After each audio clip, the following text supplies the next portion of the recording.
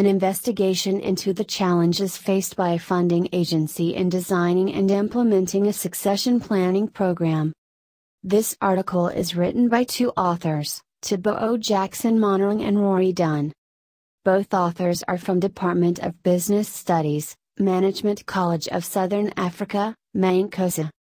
Abstract of study is that, succession planning is a key component in talent management and it is defined broadly as a strategic process within an organization focusing on identifying, training and developing, mentoring and preparing potential talent for future leadership positions.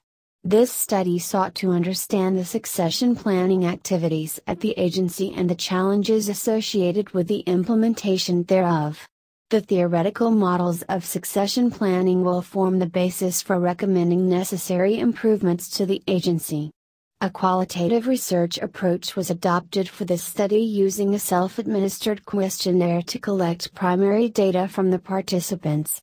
Secondary data was used as a triangulation strategy to enhance validity and reliability of the study.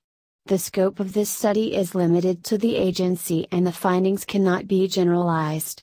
The target population in this study was limited to HR managers and managing directors at business units. Therefore, there is a potential for further research by extending the target population to include all levels of employees within the agency. This dissertation is the first of its kind within the agency. It will provide ideas for other researchers to expand on this study within the agency. Thanks for watching this video of Pak Publishing Group of International Journal of Education and Practice Volume 4 Issue Number 10.